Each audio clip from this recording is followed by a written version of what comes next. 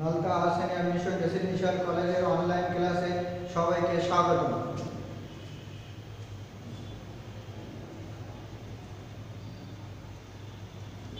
আসসালামু আলাইকুম।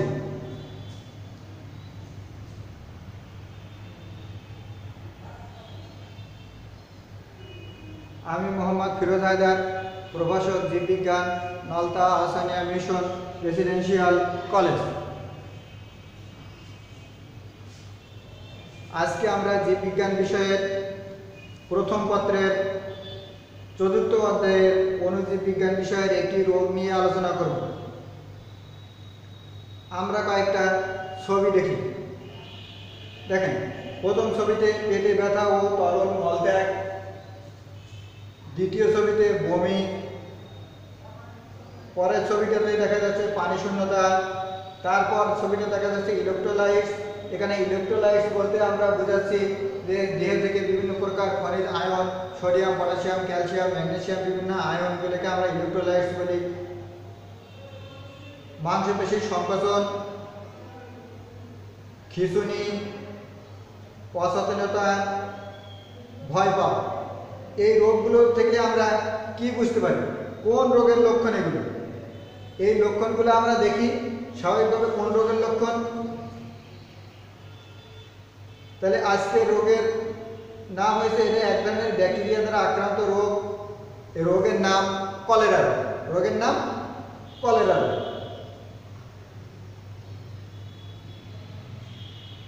এখন দেখি আজকের পাঠ শেষে শিক্ষার্থী বন্ধুরা কি শিখবে?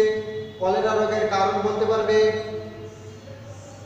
কলেরা রোগের কারণ বলতে পারবে কলেরা রোগের পরজীবী সম্পর্কে বর্ণনা করতে পারবে কলেরা রোগের লক্ষণ বলতে পারবে। কলেরা রোগের প্রতিকার ও প্রতিরোধ বর্ণনা করতে পারবে।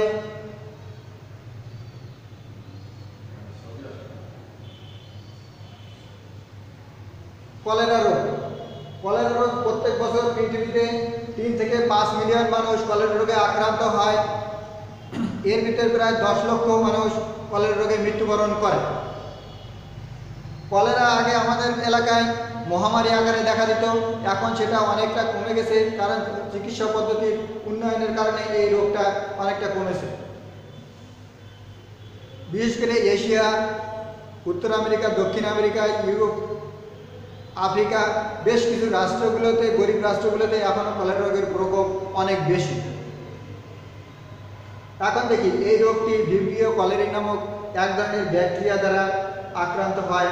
ব্যাকটেরিয়ার আকৃতি, ব্যাকটেরিয়া কমার মতো দৈর্ঘ্য এক দশমিক পাঁচ থেকে এক থেকে পাঁচ মাইক্রোমিটার দৈর্ঘ্য কত এক থেকে পাঁচ মাইক্রোমিটার, প্রস্থ দশমিক চার থেকে দশমিক ছয় মাইক্রোমিটার প্রান্তে একটি মাত্র ফেলাচলা জড়িত থাকে। আকৃতি, কম আকৃতি।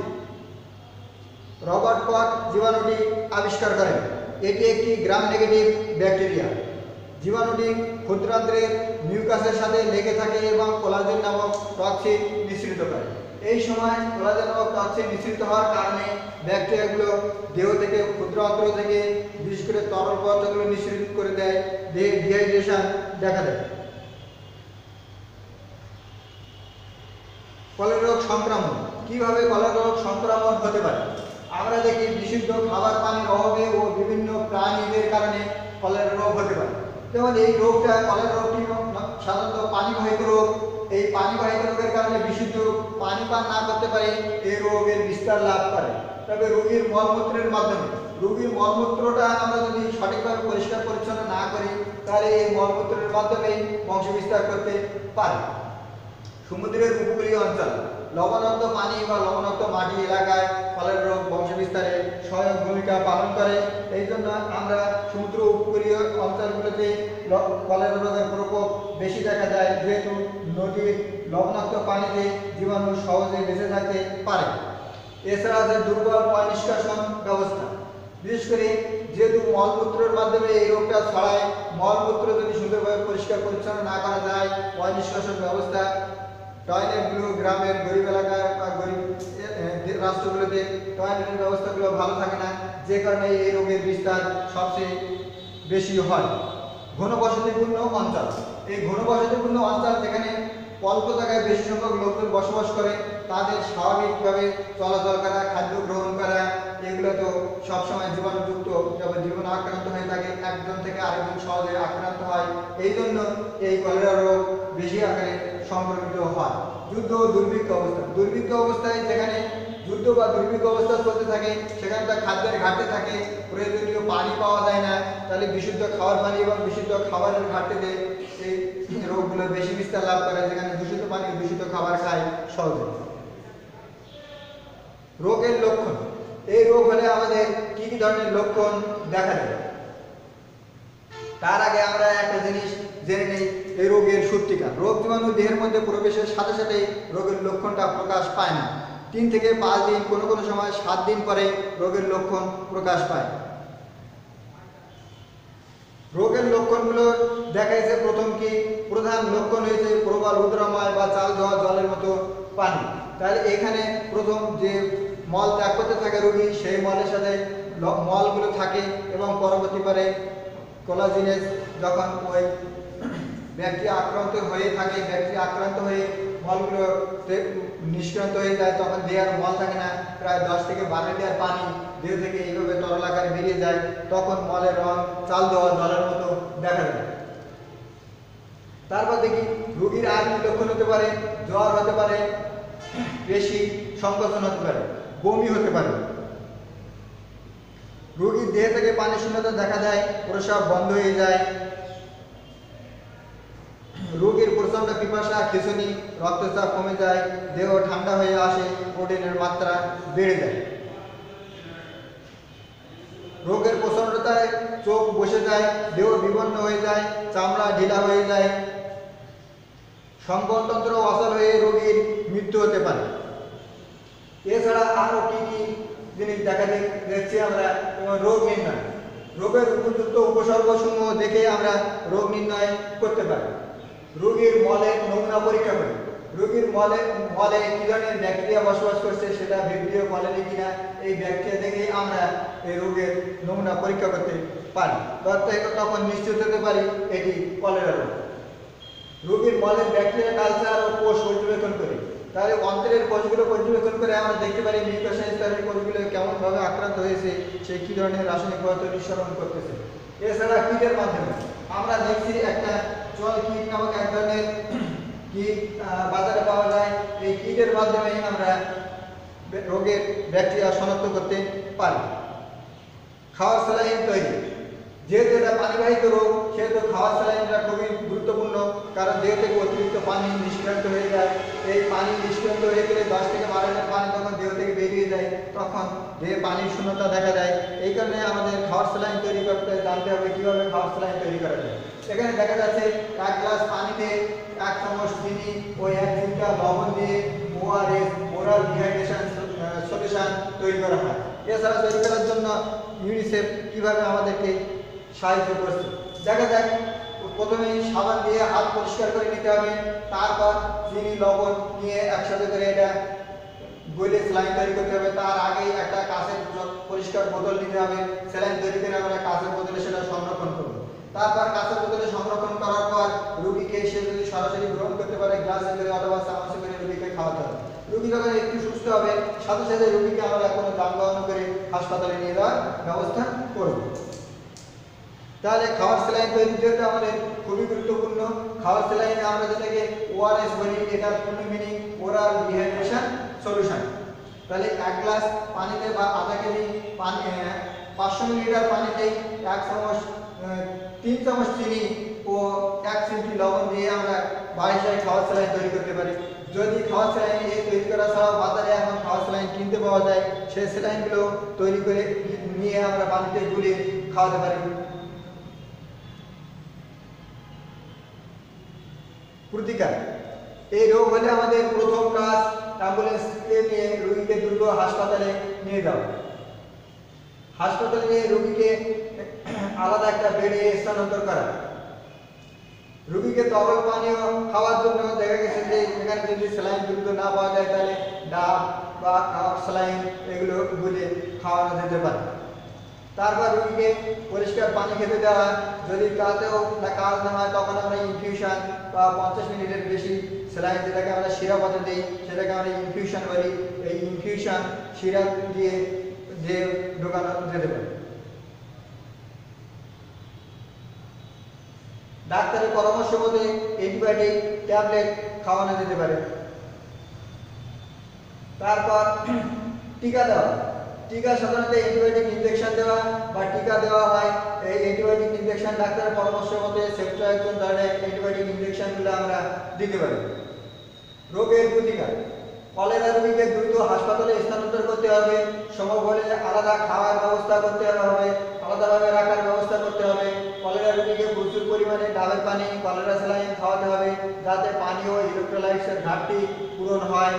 রোগীকে অ্যান্টিবায়োটিক যেমন টেট্রাসাইক্লিন ট্রাইমিটোপ্রিন সালফামিথাক্সল অথবা সিপ্রোফ্লক্সিন দ্বারা চিকিৎসা করা যেতে পারে। এছাড়া সেপ্টাইজন ইনজেকশন দেওয়া যেতে পারে। কলেরার টিকা দিলে এই রোগ থেকে রক্ষা পাওয়া যায়, কিন্তু টিকাটা মাত্র আমাদের তিন বছর বয়স পর্যন্ত কার্যকারী হয়, তাই শুধুমাত্র বাচ্চাদের টিকা দেওয়া হয়। মোট কথা রোগীকে দেহ থেকে দেহে পানি শূন্যতা দেখা না দিতে পারে, তার ব্যবস্থা করা। প্রতিরোধ। এই কলেরা রোগ থেকে আমরা কীভাবে নিজেদেরকে, সমাজকে, দেশকে রক্ষা করতে পারি, সেটা হচ্ছে প্রতিরোধ। কলের জল ব্যবহার করা। পরিষ্কার কলের জল যে কলের পানিতে স্বাভাবিক আর্সেনিক থাকে না, সেই কলের পানি আমরা ব্যবহার করতে পারি। তার মানে এটি পানিবাহিত রোগ, বিশুদ্ধ খাওয়ার পানির মাধ্যমে এই রোগ থেকে আমরা প্রতিরোধ করতে পারি নিজেকে রক্ষা করতে পারি। বাইরের খাবার, দেখো পাশাপাশি খাবার, মুরগি খাচ্ছে, সেই খাবার একসাথে বাচ্চাও খাচ্ছে, এই ধরনের বাচ্চা বা মানুষের স্বাভাবিকভাবে কলেরা রোগ হয়, তাই বাসি খাবার, রাস্তার খোলা খাবার ও পানি, ফুচকা জাতীয় খাবার, চটপটি জাতীয় খাবার, এগুলো নাস্তার খাবারগুলো আমরা বর্জন করতে পারি। বর্জন করলে প্রতিরোধ করা সম্ভব। খাবার, খাদ্য খাবার ঢেকে রাখা। বাজারের খাদ্য খাবারগুলো সবসময় খোলা থাকে। মাছি আসতেছে। বিশেষ করে মাছির মাধ্যমে এই রোগগুলো তো বেশি ছড়ায়। তাই এই ধরনের খাদ্যগুলোকে আমরা ঢেকে রেখে ব্যবহার করতে পারি বা গ্রহণ করতে পারি। একবার রান্না করা খাওয়ার কয়েক ঘণ্টা পরে আর খাওয়া যায় না। কিন্তু দ্বিতীয়বার খাইতে হলে সেটা গরম করে খাইতে হয়। দেখেন, বাংলাদেশে কলের রোগের একটা প্রকোপের একটা ছবি দেওয়া আছে। প্রচুর মানুষ প্রত্যেক বছর আমাদের দেশে কলের রোগে আক্রান্ত হয় এবং অনেকেই সেখানে মৃত্যুবরণ করছে। খাবার ঢেকে রাখতে হবে এবং রুগীকে যখন রোগে আক্রান্ত হবে তখন আলাদা জায়গায় বা আলাদাভাবে স্থানান্তর করতে হবে, আলাদা ঘরে রাখতে হবে, হাসপাতালে নিয়ে আলাদা বেডে রুগীকে রাখতে হবে।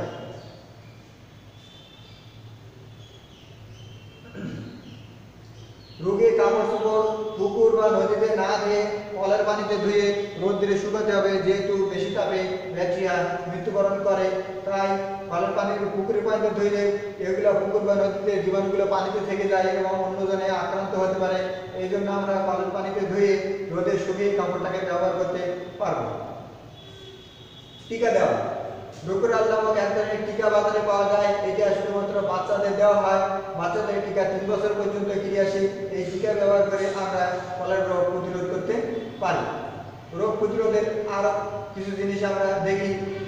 পানি ফুটিয়ে যেখানে পানি পরিষ্কার করার বা পানি বিশুদ্ধ করার কোনো যন্ত্র আমরা নেই, সেখানে নিশ্চিন্তে পানি ফুটে ব্যবহার করে আমরা রোগ প্রতিরোধ করতে পারি। খাদ্যদ্রব্য সবসময় ঢেকে রাখতে হবে যাতে খাবারে মাছি বসতে না পারে। যেহেতু এটা পানিবাহিত রোগ এবং রোগীর মলমূত্রের উপরেই আপনি রোগীর মলমূত্রে পার হয়ে চলে গেলে রোগ মলমূত্র আপনার গায়ে লাগলেও রোগে আক্রান্ত আপনি হন না বা জীবাণু আপনার দেহের মধ্যে প্রবেশ করে না। সেখানে আমরা মশামাছির মাধ্যমে এই রোগ ছড়ায় তাই মশামাছিকে প্রতিরোধ করে রোগ জীবাণু রক্ষা করতে পারি। প্রয়োজনে সামান্য গরম করে খাদ্য গ্রহণ করা। আমাদের দেশে সব মানুষরা একবার খাদ্য রান্না করে, সকালে রান্না করে, দুপুরে এবং রাত্রে পর্যন্ত সেটা গ্রহণ করে। এই সময় জীবনে আসতে পারে মাছ মাছের মাধ্যমে। তাই খাদ্যগুলো দ্বিতীয়বার গ্রহণ করার আগে আমরা গরম করে খাদ্য গ্রহণ করতে পারি। কলেরা রোগের রুগীর ব্যবহার্য কাপড় যেগুলো আমাদের কাজে লাগবে না দেওয়া হবে নষ্ট কাপড় যেগুলো নষ্ট হয়ে যায়, সেগুলো আমরা পুড়িয়ে ফেলতে পারি অথবা সিদ্ধ করে রোদে শুকাতে পারি শুকিয়ে সেটা ব্যবহার করতে পারি। দূষিত পানি ও বাসি খাবার, রাস্তার উন্মুক্ত খাবার ও পানি বর্জন করতে হবে। দূষিত খাবার যে, যেগুলো আমরা রাস্তার পাশে আমাদের দেশে তৈরি করে এবং বিক্রি হয়, যেমন পেঁয়াজি, কিছু সিঙ্গাড়া বা চটপটি ফুচকা এগুলো এগুলো থেকে আমাদের বিরত থাকতে হবে। সম্ভব হলে রুগীকে আলাদা বিছানায় রাখতে হবে, তাহলে আমরা এই রোগ থেকে অনেকটা প্রতিরোধ গড়ে তুলতে পারব। সচেতন করা। জনগণকে সবসময় সচেতন করতে পারি, সচেতনতা সৃষ্টি করে এই কলেরা রোগ থেকে আমরা রক্ষা রক্ষা পেতে পারি। তাহলে বিভিন্ন এলাকায় মাইক নিয়ে অথবা গ্রামবাসীদের ডেকে আমরা এক জায়গায় বসে এগুলো সম্পর্কে সচেতন করে নিয়ন্ত্রণ করতে পারি। এ বিষয়ে আমরা একটা ভিডিও দেখি।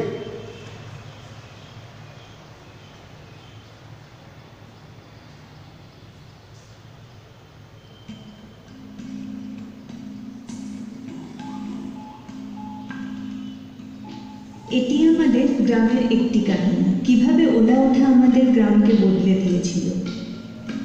ওলা ওঠার জীবাণু অতি ক্ষুদ্র এত সূক্ষ্ম কি দেখাও যায় না। নদীর জলের দ্বারা সংক্রামিত হয়, অতি ক্ষুদ্র কিন্তু অতি ভয়ঙ্কর। নিজেদের অজান্তেই মহিলারা জলের মাধ্যমে ওলা ওঠা ঘরে নিয়ে আসেন। মাছিরাও তাদের পায়ের সাহায্যে ওলা ওঠা বহন করল। নোংরা হাতের সাহায্যেও এর বিস্তার ঘটল।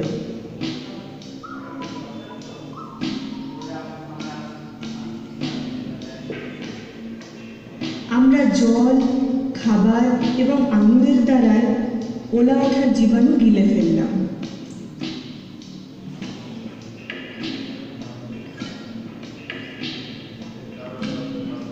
অতি শীঘ্র এত সব কিছু ঘটে গেল যে সকালেই আমার বাবা অসুস্থ হয়ে পড়লেন। ওনার উদরময় হয়েছিল, মনে হচ্ছিল ভেতর থেকে শুধু নোংরা জলের মতোই বের হচ্ছে। আমি খুবই ভয় পেয়ে গেলাম। আমি সাহায্যের জন্য ছুটলাম।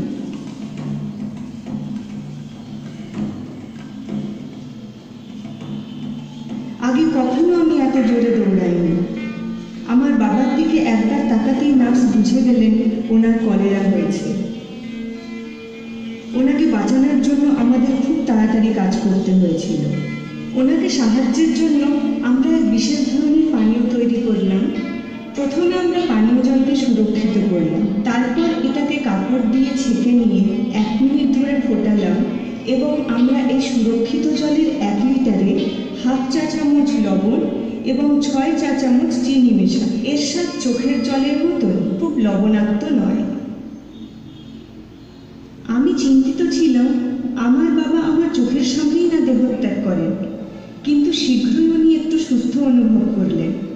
নার্স আমাকে বোঝালেন যারাই কলেরার জীবাণু খেয়ে ফেলে, তারা আমার পিতার মতো এত অসুস্থ হন না, কিন্তু এরাও রোগ সংক্রমণ করতে পারেন।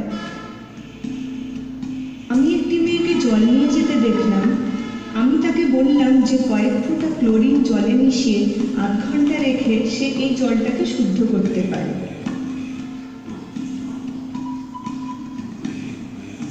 একজন ভদ্রলোক নোংরা হাতে প্রায় খেতেই শুরু করেছিলেন। আমি ওনাকে বোঝালাম যে শৌচালয় যাওয়ার পর সবসময় হাত সুরক্ষিত জলে ধোয়া উচিত। শুধুমাত্র পরিষ্কার হাতেই উনি সুরক্ষিত ভোজন গ্রহণ করতে পারেন গ্রামবাসীদের দেখলাম নদীতে ওলা ওঠার জীবাণু ছড়াতে আমি তাদের বোঝালাম, নদী থেকে খুব দূরে শৌচালয় খনন করা উচিত, কমপক্ষে তিরিশ মিটার দূরে। আমাদের গ্রামকে সুরক্ষিত রাখার জন্য এটার প্রয়োজন ছিল। আমি একজন মাকে অসুরক্ষিত খাবার বানাতে দেখলাম। আমি তাকে বললাম, প্রথমে আমাদের নিজের হাত পরিষ্কার জলে ধুয়ে নেওয়া উচিত, তারপর খাদ্যবস্তু ধোয়া বা ছাড়ানো উচিত। খাদ্যবস্তু রন্ধনের পর সর্বদা গরম খাওয়া উচিত, একে মাছিদের থেকে দূরে রাখা উচিত। এই খবর গ্রামের সর্বত্র ছড়িয়ে দেওয়ার পর আমি আমার বাবার কাছে ছুটলাম। আমি খুবই খুশি হলাম ওনাকে আগের থেকে সুস্থ দেখে। আমাদের গ্রাম রোগমুক্ত হলো। এখন আমরা জলকে নিশ্চিতরূপে সুরক্ষিত করার জন্য একে ছেঁকে ফুটিয়ে গ্রহণ করি। আমরা শৌচালয় ব্যবহার করার পর সর্বদা খাদ্যবস্তু মাছিদের থেকে সুরক্ষিত, ধোয়া, ছাড়ানো এবং রান্না করা হয়। এবং সর্বদা আমরা রান্না করা বা খাওয়ার পূর্বে হাত ধুয়ে আমরা আমাদের গ্রামকে কলেরা মুক্ত করেছি। এই খবর ছড়িয়ে দিন, আপনার গ্রামও সুরক্ষিত হতে পারে।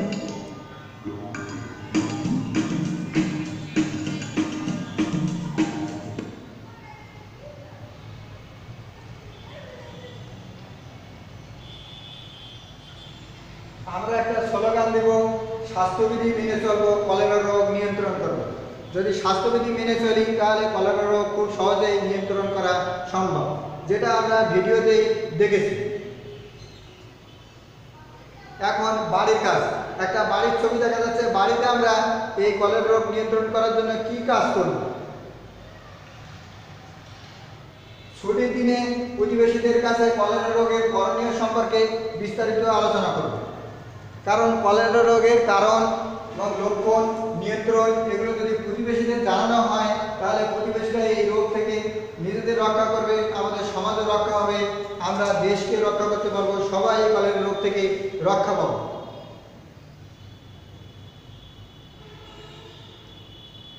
এই রোগটি পড়ার জন্য আমাদের, আমরা জীববিজ্ঞান প্রথম পত্রের আবুল হোসেন স্যারের বই, জীববিজ্ঞান প্রথম পত্রের গাজী আলমাল্লাহ আসমাত হোসেন স্যারের বই, জীববিজ্ঞান প্রথম পত্রের ডক্টর মোহাম্মদ আব্দুল আলিম স্যারের বই পড়ে এই বিষয়বস্তু সম্পর্কে আমরা ভালো ধারণা নেব।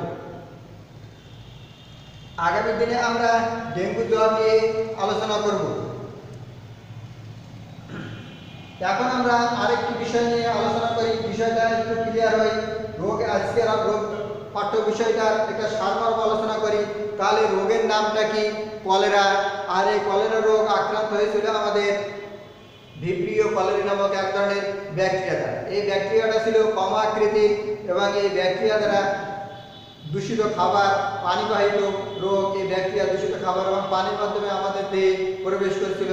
দেহে প্রবেশ করার পর তিন থেকে পাঁচ দিন অথবা কারও কয়েকদিনের, কয়েক ঘণ্টার পরে রোগের লক্ষণগুলো প্রকাশ পেয়েছিল এবং এই লক্ষণগুলো প্রকাশ পাওয়ার পর দেখা গেছে প্রথম যে বেশি লক্ষণ, সেটা আমাদের দেহে থেকে প্রথমে মলত্যাগ, পাতলা মলত্যাগ হচ্ছিল। তারপর এক সময় মলগুলো পানিতে আর ছিল না। ছিল তখন শুধু তরল চাল দেওয়া জলের রঙের মল। এখন এই অবস্থা থেকে যখন দেহে তখন একটু একটু তাপ বাড়তে থাকে, তারপর ধীরে ধীরে তাপমাত্রা কমে পঁচানব্বই থেকে ছিয়ানব্বই ডিগ্রি ফারেনহাইট আসে। প্রথমে, প্রথম থেকে রক্তচাপ ব্লাড প্রেশার আস্তে আস্তে কমতে থাকে, কমতে কমতে নব্বই বাই সত্তর মার্কারি চাপ চলে আসে। এরপরে যখন দেহ থেকে ইলেকট্রোলাইটসের ঘাটতিগুলো ঘটে, সোডিয়াম, পটাশিয়াম, ক্লোরিনের ঘাটতি ঘটে দেহে সোডিয়াম, শোষণে, ক্লোরিন বাধা সৃষ্টি হয়, তখন দেহটা খুব দুর্বল হয়ে পড়ে। মাথায় অক্সিজেনের ঘাটতি দেখা দেয়, রোগী তখন অচেতন হয়ে পড়ে। তাহলে এই অবস্থাগুলো থেকে রক্ষা পাওয়ার জন্য আমাদের প্রথমে রুগীকে হাসপাতালে নিতে হবে খাওয়ার স্যালাইন খাওয়াতে হবে ডাবের পানি খাওয়াতে হবে।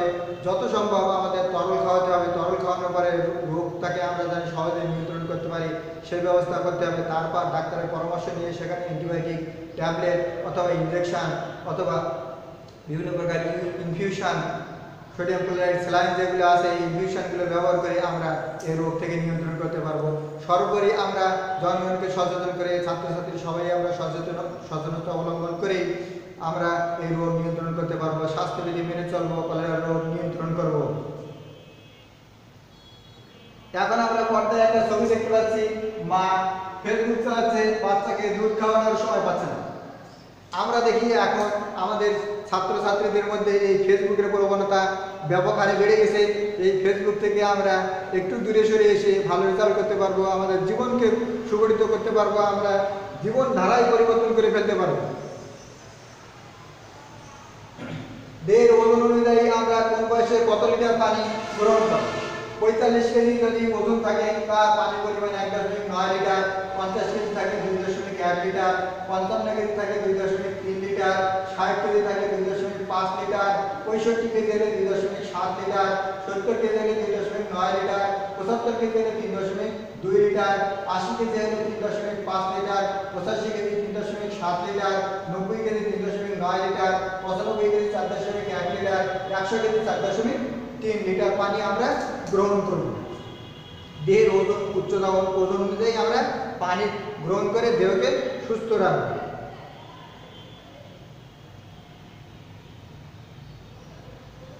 তাহলে আজকের ক্লাসে সবাইকে ধন্যবাদ। আল্লাহ হাফেজ, পরের ক্লাসে আবার দেখা হবে ইনশাআল্লাহ।